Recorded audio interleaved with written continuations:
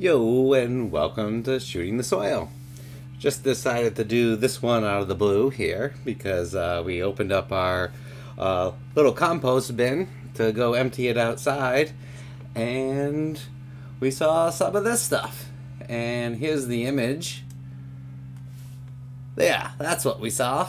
All sorts of furry stuff. So we just we just had to grab a pinch with uh, tweezers, toss it on a slide because uh, yeah, I really want to know what that stuff looks like. All right, and here we are. This is the top part where I probably grabbed it with the tweezers and pinched it up. We are using the 10x 10x objective right now. So we are at a 100x total magnification and wowza. So we see all the hyphae going around through all this fuzz. And here are the spores. And did a little research. And this would be a saprophyte, which is a reducer, breaking down, you know, and of course, it being in my con- compost, it is uh, breaking down the food and reducing it. And I believe this particular saprophyte or fungi, which is in the mold family, would be a rhizophus. Judging by its extra furriness and what I've seen online from the images that I've researched, but uh, definitely if you got more insight, because there's many types of rhizophus, if you can uh, drop some more insight, that would be awesome in the comments. But based on my research, that's what I came up with. It's in the mold family. It's a fungi. It's a saprophyte, meaning that it's a reducer, breaks things down. And I believe the category that it falls into would be uh, Rhizophus. And then there's a bunch of different types of Rhizophus. But that's the best I can do for you. Following the strand here. So we see it's not like a lot of the fungi that we see in the soil, how it kind of comes to these narrow points. But other than that, it's a very uniform but doesn't have the uh, the septi, the the segments in the uh, in the cell walls that we like to see with our good beneficial um, soil microbes. And yeah, you don't want to eat this stuff. If this is growing on your food, like the uh, the image here, yeah, no, nope, uh, can be uh, a human pathogen. Not a fungi that we want, but at the same time, perfectly fine in our compost. Because it's going to uh, do a really good job at breaking down everything that's in our compost and making it more plant available.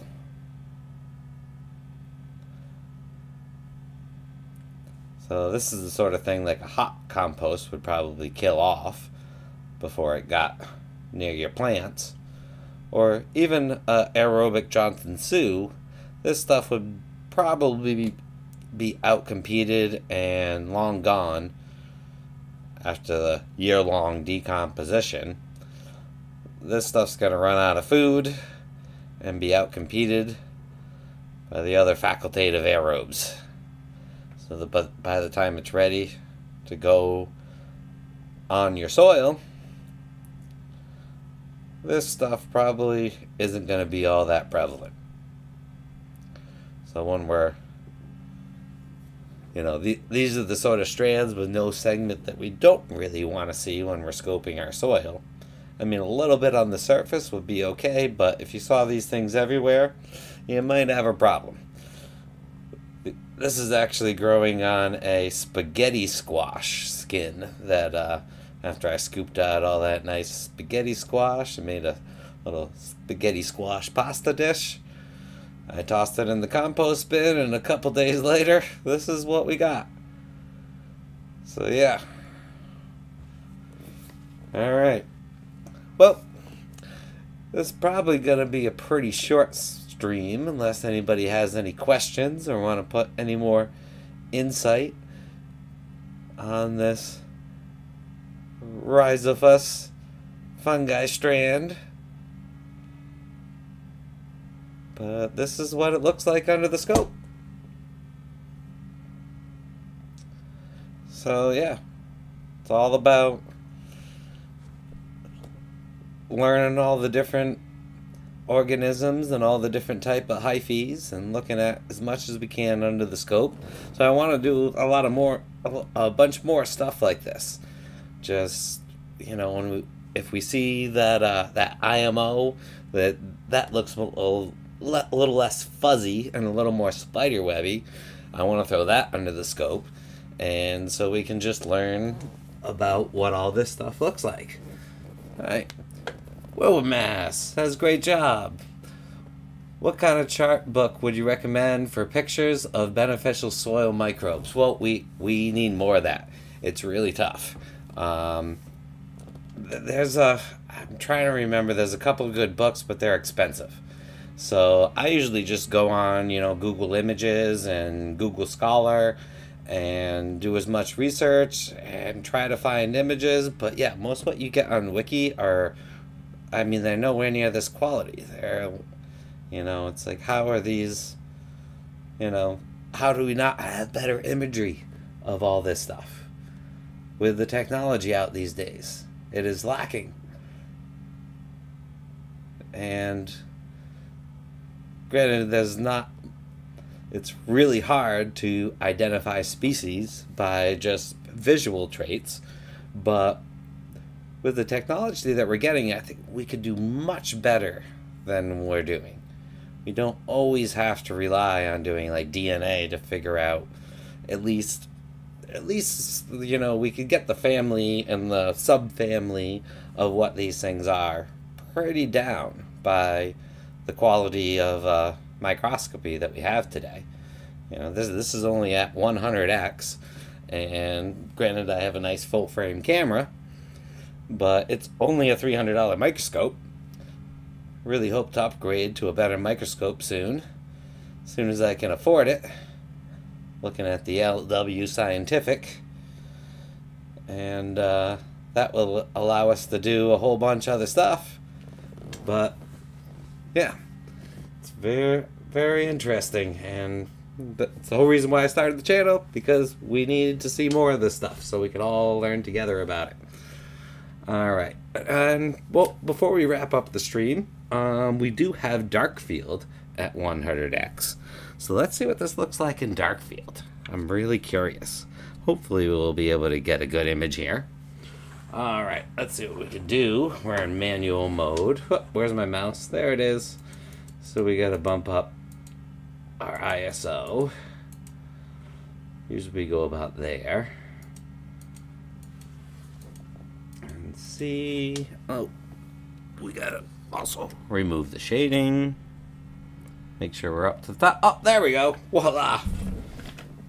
Just a little tweak of the microscope. Now we are in dark field. So, you know these things are all living when you're in dark field by how much they kind of see how all the edges, specifically right here, glow and kind of phosphoresce. And this is only dark field. This is only just making the light so it hits the sides instead of shining it through. So once we get epifluorescence, we're going to be able to do a lot more. Here, watch this. I'll just, yeah, see. I'm barely even moving that dark field filter. And look, look how much of a difference it made. We could actually go down in light, but wow, this looks cool.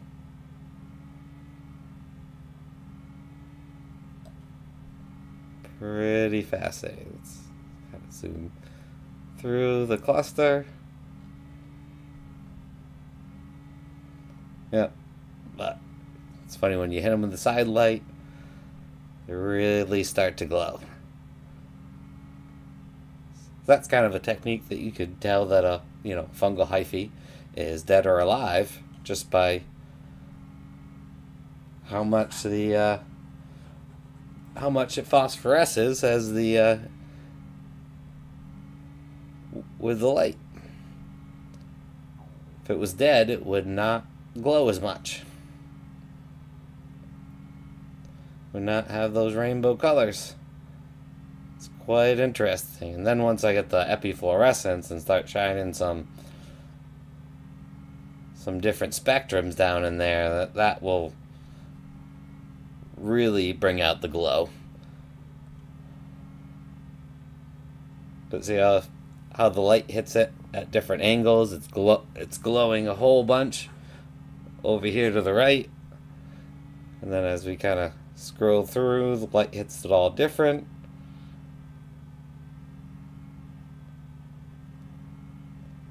Super interesting. So that's just one te technique that we can uh,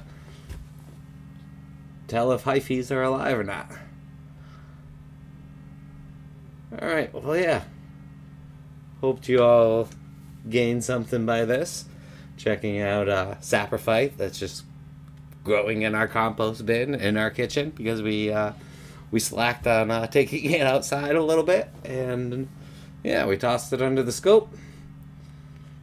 And all these little spores right here. Uh, from my knowledge, put it in the Rhizophus category. So, in the mold family, but still a fungal fungal hyphae. That uh, and its job is to uh, you know break down plant matter, reduce it, and get it to the point where it's uh, gonna advance our soils and feed our plants and do that whole nutrient cycling. Uh, I want to call it magic, but it's getting to the point where it's science. We're figuring it out. we're almost there. Or we're there, but we got a lot to learn. Let me just put it that way. Anyway, um, hope you enjoyed the stream. Uh, hit those buttons if you would be so kind. And uh, yeah, happy growing, and we'll catch you on the flip side.